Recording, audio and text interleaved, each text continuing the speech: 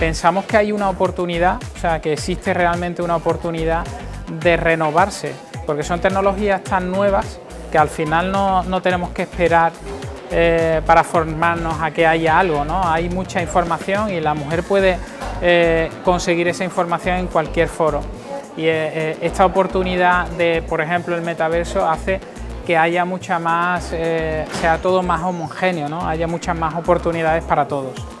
La solución está en nosotras. La solución está en que nosotras vayamos hacia el objetivo, hacia la meta, no hacia solo el entorno, a mirar el entorno. Eh, tenemos referentes suficientes, estamos empezando a visibilizar referentes que son de ahora y que sí que sirven desde la educación más temprana. También, cuanto más mujeres tenemos en tecnología, más fácil es que eduquemos a las siguientes generaciones y que vayamos impulsando y abriendo ese conocimiento.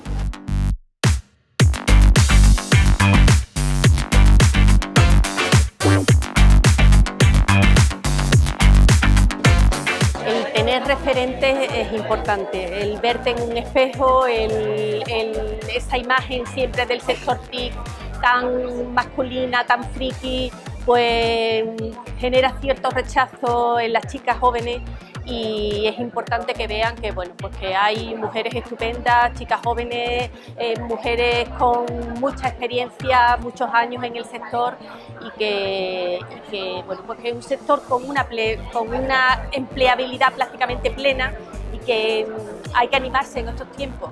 Eh, yo creo que es, que es importante eh, visibilizarlo con eventos como, como este, para que, para que las chicas que tengan esa inquietud pues no tengan ningún freno para, dedicarse a esto si, es lo que les gusta.